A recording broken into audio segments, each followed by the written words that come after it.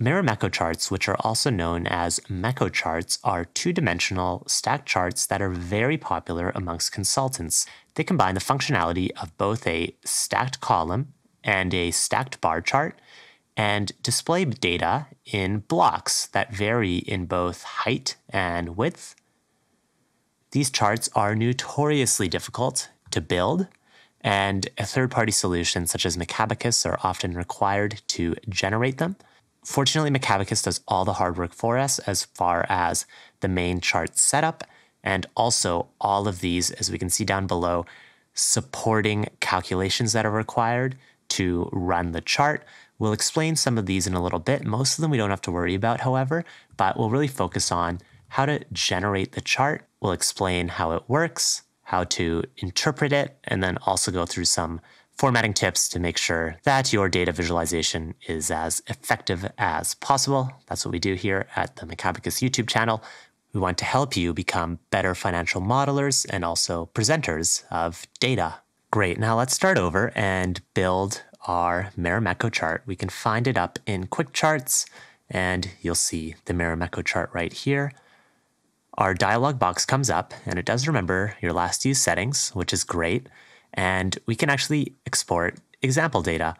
What it's given us is four series or segments and then four categories, alpha through to delta. And we can see that, for example, for series A, then we have dollar values for each category and so on and so forth. So we can see how this is really two dimensional.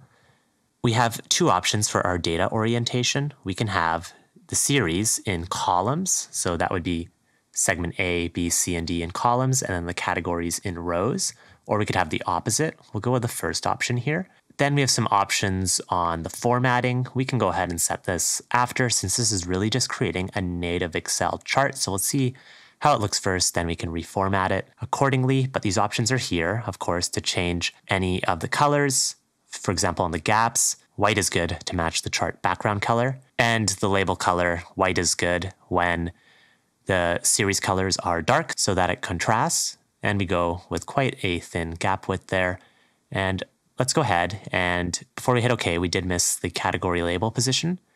So we can set those to be above the chart or below the chart. We'll go with above chart. One can always adjust these afterwards.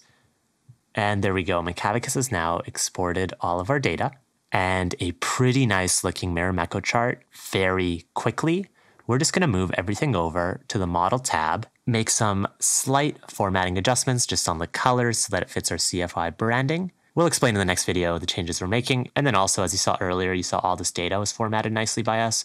We'll just reformat it before we move forward. We'll see you in the next video where we'll hop over to the model tab and we can dive deeper into this chart and also explain how to interpret it.